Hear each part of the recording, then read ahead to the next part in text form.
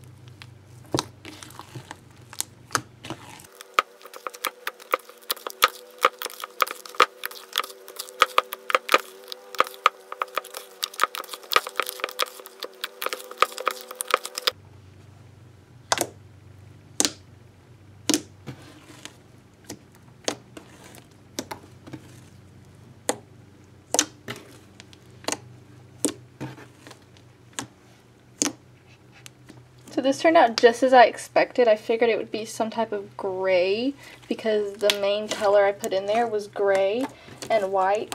But it actually doesn't look too bad and the texture is surprisingly decent. but